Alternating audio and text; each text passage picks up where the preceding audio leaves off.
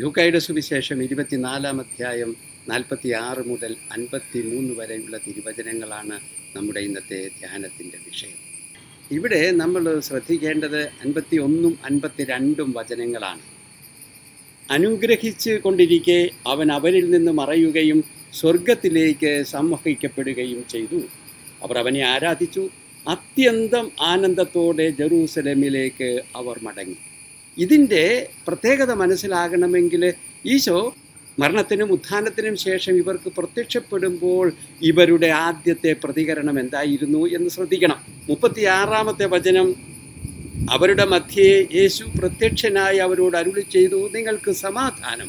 അപ്പോൾ അവർ ഭയന്ന് വിറച്ചു. മുപ്പത്തി എട്ടാമത്തെ വചനം കൂടെ ശ്രദ്ധിക്കണം. അവൻ അവരോട് ചോദിച്ചു നിങ്ങൾ അസ്വസ്ഥരാകുന്നത് എന്തിന്? ഈശോ പ്രത്യക്ഷപ്പെടുമ്പോൾ അവർക്കുണ്ടാകുന്നത് ഭയമാണ് അസ്വസ്ഥതയാണ്. എന്നാൽ ഈശോ സ്വർഗത്തിലേക്ക് എടുക്കപ്പെടുമ്പോൾ സ്വർഗാരോഹണം ചെയ്യുമ്പോൾ അവർക്ക് അത്യധികം ആഹ്ലാദമുണ്ടാവുകയാണ്. ഇതിന്റെ പ്രത്യേകതയും ഇതിന്റെ കാരണവും നമ്മൾ അന്വേഷിക്കണം. ഈശോ പ്രത്യക്ഷനാകുമ്പോൾ അവർക്ക് ഭയം അസ്വസ്ഥത എന്നാൽ അപ്രത്യക്ഷനാകുമ്പോൾ സ്വർഗത്തിലേക്ക് ആരോഹണം ചെയ്യുമ്പോൾ അത്യധികം ആനന്ദം.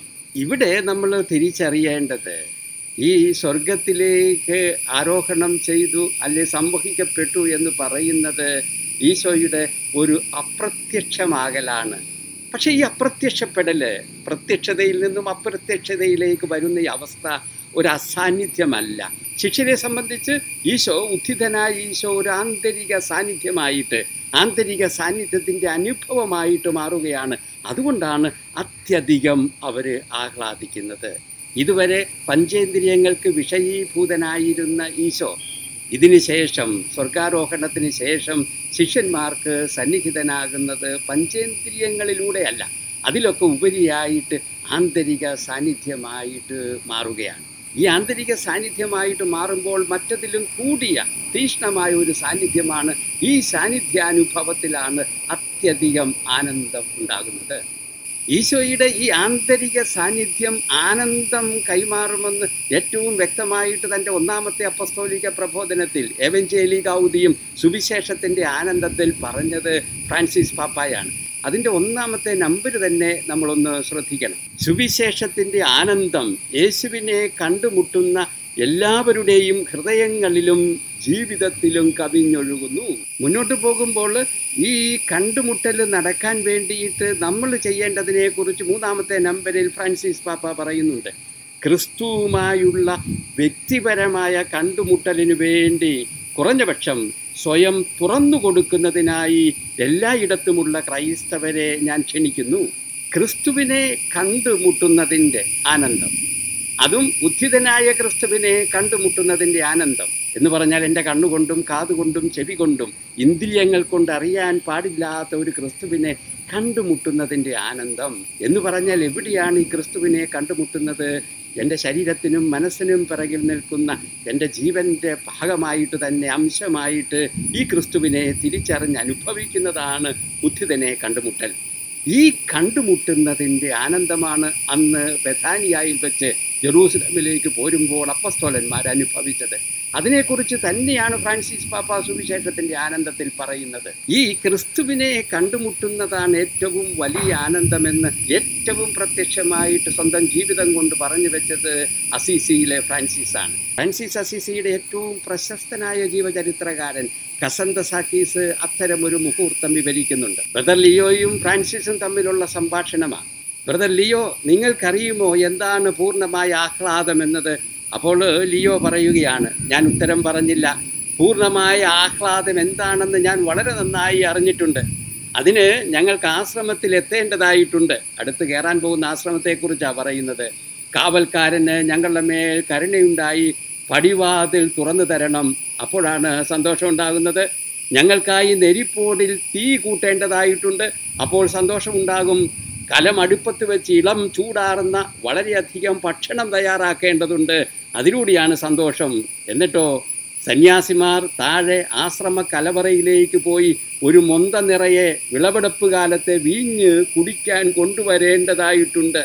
വലിയ സന്തോഷമുണ്ടാകുന്ന കാര്യങ്ങളാണ് ലിയോ പറഞ്ഞു പോകുന്നത്. ഇത് ആത്മഗതമായിട്ട് ബ്രദർ ലിയോ പറയുക എന്നിട്ട് അയാൾ തന്നെ പറയുന്നുണ്ട് എന്നാൽ ഇത്തരത്തിലുള്ള ബുദ്ധിക്ക് നിരക്കുന്ന കാര്യങ്ങൾ എങ്ങനെയാണ് ഞാൻ ഫ്രാൻസിസിനോട് പറയുക? അപ്പോഴാണ് ഫ്രാൻസിസിന്റെ മറുപടി ഭൂമിയിലുള്ളവരിൽ ഏറ്റവും പുണ്യവാളന്മാർ നാം ആണെങ്കിലും അത് പരിപൂർണമായ ആനന്ദം തരില്ല. ബ്രദർലിയോ നാം അന്ധന് കാഴ്ച നൽകിയാലും മനുഷ്യരിൽ നിന്ന് പിശാശിനെ ഒഴിപ്പിച്ചാലും മരിച്ചവരെ ശവക്കല്ലറയിൽ നിന്ന് ഉയർപ്പിച്ചാലും അതൊന്നും പരിപൂർണ ആഹ്ലാദമായിരിക്കില്ല. പിന്നീട് അദ്ദേഹം തുടരുകയാണ് ബ്രദർലിയോ നാം മനുഷ്യരുടെയും മാലാഖമാരുടെയും ഭാഷകൾ സംസാരിച്ചാലും ദൈവത്തിന്റെ വചനം ഉദ്ഘോഷിച്ചാലും നാം എല്ലാ അവിശ്വാസികളെയും യേശുവിന്റെ വിശ്വാസത്തിലേക്ക് മാറ്റിയാലും അതൊന്നും പരിപൂർണമായ ആഹ്ലാദം തരില്ല.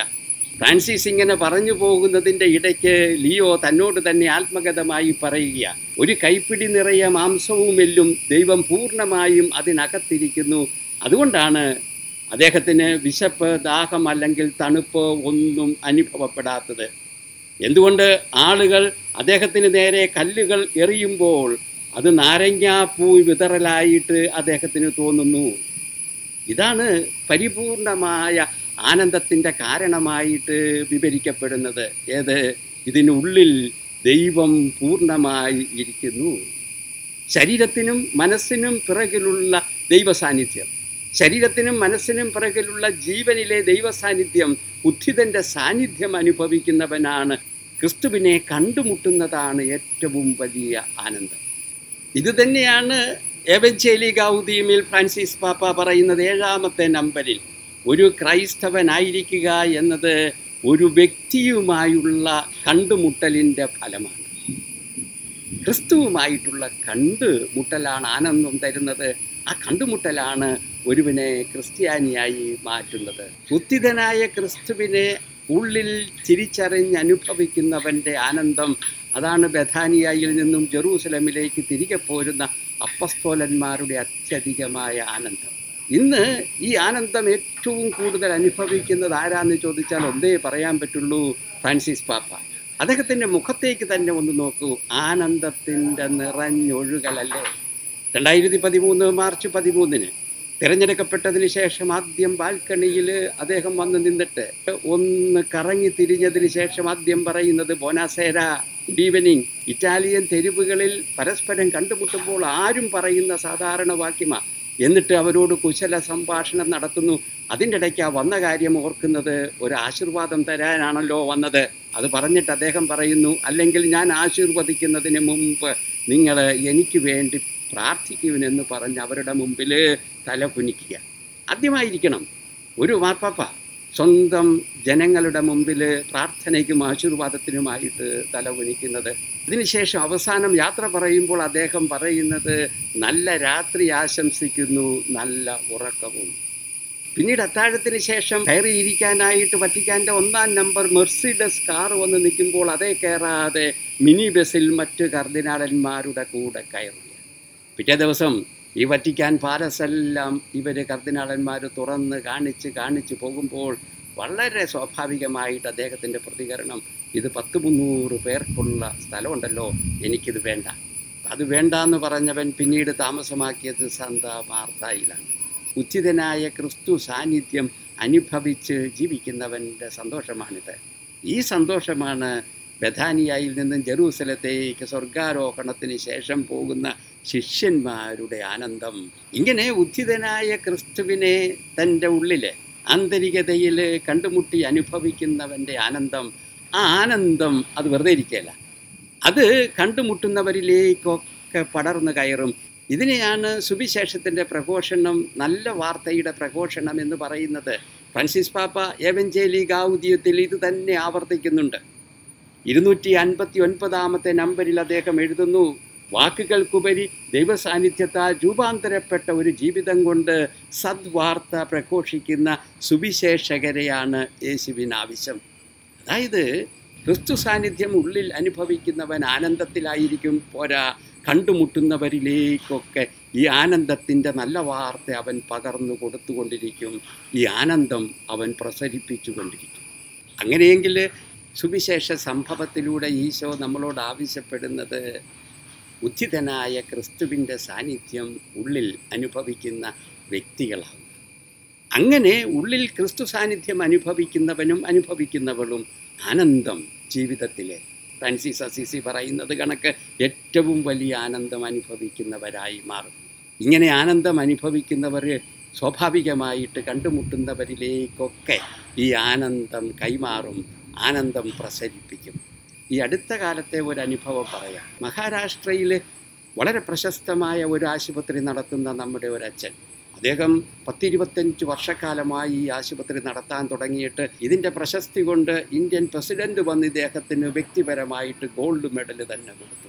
അങ്ങനെ ഇരിക്കെ മഹാരാഷ്ട്രയിലെ ബി ജെ പി സർക്കാർ ഇദ്ദേഹത്തോട് ആവശ്യപ്പെട്ടു. അവിടുത്തെ താലൂക്ക് ആശുപത്രിയും അതിന്റെ കീഴിലുള്ള പ്രൈമറി ഹെൽത്ത് സെന്റേഴ്സും ഏറ്റെടുത്ത് നടത്താവും കാശും ശമ്പളവും ഒക്കെ അവർ കൊടുക്കും. നടത്തിപ്പ് മാത്രം ഇദ്ദേഹത്തിന് ഏറ്റെടുക്കാമോ? ഇദ്ദേഹം ഏറ്റെടുത്തു. അങ്ങനെയുള്ള രണ്ട് പ്രൈമറി ഹെൽത്ത് സെന്ററിൽ എന്നെ ഇദ്ദേഹം കൊണ്ടുപോയി. അപ്പോള എന്ന് പറയുന്ന ഒരു കുഗ്രാമത്തിലെ പ്രൈമറി ഹെൽത്ത് സെന്റർ എന്റെ കൂടെ ഡയറക്ടർ അച്ഛനും നേഴ്സിംഗ് കോളേജിന്റെ പ്രിൻസിപ്പളായ സിസ്റ്ററും ഉണ്ട്. ഞങ്ങൾ അവിടെ ചെന്നു. അവിടെ ചെന്നപ്പോഴേ ഈ സിസ്റ്ററിന്റെ അടുത്തേക്ക് അവിടെയുള്ള സ്റ്റാഫ് എല്ലാവരും ഓടിക്കൂടി വർത്തമാനം പറഞ്ഞുകൊണ്ടിരിക്കുക ഞാൻ അകലെ മാറി നിന്നിത് വീക്ഷിക്കുക അല്പം കഴിഞ്ഞപ്പോഴാണ് വരാന്തയിൽ കൂടി ഒരു നേഴ്സ് പെൺകുട്ടി കടന്നുപോയി. സിസ്റ്ററിനെ കടന്ന് മുന്നോട്ട് പോയി കഴിഞ്ഞപ്പം പെട്ടെന്ന് അവൾ തിരിച്ചു വന്നു. തിരിച്ചു വന്ന് സിസ്റ്ററാണെന്ന് തിരിച്ചറിഞ്ഞപ്പോഴേ അവളുടെ കണ്ണ് നിറഞ്ഞു. കണ്ണിൽ നിന്ന് കണ്ണീര് പ്രഭവിക്കാൻ തുടങ്ങി. അല്പം കഴിഞ്ഞപ്പോൾ അവൾ കുനിഞ്ഞ് സിസ്റ്ററിന്റെ പാദങ്ങൾ തൊട്ട് നമസ്കരിച്ചു. എഴുന്നേറ്റ് വരുന്നവൾ പെട്ടെന്ന് കയറി സിസ്റ്ററിനെ കെട്ടിപ്പിടിച്ചുമ്മ കൊടുക്കുക പിന്നീട് ഞാൻ കാര്യം അന്വേഷിച്ചറിഞ്ഞു. കോമളെന്നാണ് അവളുടെ പേര്. കൂടി വന്നാൽ പതിനെട്ടോ ഇരുപതോ വയസ്സ് പ്രായം കാണും. ആ ഗ്രാമക്കാർ തന്നെയാണ്. അവളെ ഈ sister A N M nursing പഠിപ്പിച്ചു. പഠിപ്പിച്ചതിന് ശേഷം ഈ സർക്കാർ ഉദ്യോഗവും കിട്ടി. എല്ലാ വർഷവും അറുപത് പാവപ്പെട്ട പെൺകുട്ടികളെ എ എൻ എം പഠിപ്പിച്ച് ഈ കോളേജിൽ നിന്നും പുറത്തിറക്കുകയാണ് സർക്കാർ ജോലിക്കായിട്ട്. അവളും അവളുടെ കുടുംബവും ഈ ജോലി കൊണ്ട് രക്ഷപ്പെട്ടതിന്റെ നന്ദിയാണ് അവളുടെ കണ്ണ് നിറച്ചതും പാദങ്ങൾ തൊട്ട് നമസ്കരിക്കാൻ പ്രേരിപ്പിച്ചതും അവസാനം കെട്ടിപ്പിടിച്ചത്. ഉള്ളിൽ ക്രിസ്തു സാന്നിധ്യം അനുഭവിക്കുന്ന വ്യക്തിക്ക് ഉണ്ടാകുന്നത് ആനന്ദമാണ്. ഏറ്റവും വലിയ ആനന്ദമെന്ന സി സി പറയുന്ന ആനന്ദമാണത്. മറ്റൊന്നിനും നശിപ്പിച്ച് കളയാൻ പറ്റാത്ത ആനന്ദമാണിത്. ഈ ക്രിസ്തു സാന്നിധ്യത്തിന്റെ ആനന്ദം അനുഭവിക്കുന്ന വ്യക്തി ചെല്ലുന്നിടത്തെല്ലാം ഈ ആനന്ദം പകർന്നു കൊടുക്കുന്ന വ്യക്തിയാകും. കണ്ടുമുട്ടുന്നവരിലേക്കൊക്കെ ഈ ആനന്ദം പ്രസരിപ്പിക്കുന്ന വ്യക്തിയായിട്ട് മാറും. സന്തോഷം പ്രസരിപ്പിക്കുന്ന വ്യക്തിയായിട്ട് മാറും. നല്ല വാർത്ത സുവിശേഷം പ്രസരിപ്പിക്കുന്ന വ്യക്തിയായിട്ട് മാറും. ഈ സുവിശേഷത്തിന്റെ കാതലെന്താണ് ദൈവം നിന്നെ സ്നേഹിക്കുന്നു എന്നതാണ് ഈ ആദി പ്രഘോഷണത്തിന്റെ ഉള്ളടക്കം എന്ന് പറയുന്നത്. അതുകൊണ്ട് തന്നെ നമ്മൾ മറക്കരുത്. ഈ സ്വർഗാരോഹണം കഴിഞ്ഞ് ജെറൂസലമിലേക്ക് തിരികെ പോകുന്ന അപ്പസ്തോലന്മാരാണ് പിന്നീട് സുവിശേഷത്തിന്റെ പ്രഘോഷകരായിട്ട് മാറുന്നത്. കാരണം എന്താണ് ഇവരുടെ ഉള്ളിലെ ക്രിസ്തു സാന്നിധ്യത്തിന്റെ ആനന്ദം. ആ ആനന്ദമാണ് അവർ പ്രഘോഷിക്കുന്നതും മറ്റുള്ളവരുമായിട്ട് പങ്കുവയ്ക്കുന്നതും. അതുകൊണ്ട് തന്നെ ഈശോ ഇന്ന് എന്നോടും നിങ്ങളോടും ആവശ്യപ്പെടുന്നത് അത് തിരിച്ചറിയാം. അതിനായി പരിശ്രമിക്കാം. തമ്പുരാനോട് അതിനായിട്ട് പ്രാർത്ഥിക്കാം. നാഥ ഞങ്ങൾ ഇന്ന് നിന്റെ സ്വർഗാരോഹണ തിരുനാൾ ഓർമ്മിക്കുക ആഘോഷിക്കുക. ഈശോയെ നീ അപ്പസ്തോലന്മാരുടെ കണ്ണുകളിൽ നിന്നും അപ്രത്യക്ഷമായപ്പോൾ അവർക്ക് വലിയ ആനന്ദമാണ് ഉണ്ടാകുന്നത് അതിനർത്ഥം ഇതുവരെ കണ്ണുകൾ കൊണ്ട് കണ്ടിരുന്ന നിന്നെ അവർ ഉൾക്കണ്ണാൽ കാണാൻ തുടങ്ങി അവരുടെ ഉള്ളിലെ സാന്നിധ്യമായി നീ രൂപാന്തരപ്പെട്ടു. അതുകൊണ്ടാണ് ആനന്ദം. ഈശോയെ നീ എന്റെ ഉള്ളിലുണ്ടെന്ന്. എന്റെ ശരീരത്തിനും മനസ്സിനും പിറകിൽ നിൽക്കുന്ന എന്നിലെ ജീവന്റെ അംശമായിട്ട് നീ എന്റെ കൂടെ ഉണ്ടെന്ന് തിരിച്ചറിയാനും അനുഭവിക്കാനും ആ ആനന്ദത്തിൽ ജീവിക്കാനുമുള്ള വലിയ ദൈവാനുഗ്രഹം ഈശോയെ എനിക്ക് നീ തരണമേ.